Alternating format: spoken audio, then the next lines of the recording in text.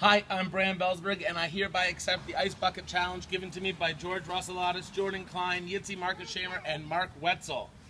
I would like to dedicate this particular challenge to all of those in Section I at Harvard Business School who've been touched by this horrific disease, specifically Avi Kramer, Lisa Cotter's Uncle John Boyle, Mark and Becky Wetzel, Jeremy and Ali Gabby, and Hudson King. I will also be making a donation to ALS Canada and the wonderful charity Prize for Life, which also supports ALS research. I hereby challenge Hyde Chen, please do not hurt me. Tracy Britt, Mark Tortorella, Zach Belzberg, and the entire Onward YPO Forum. Here we go.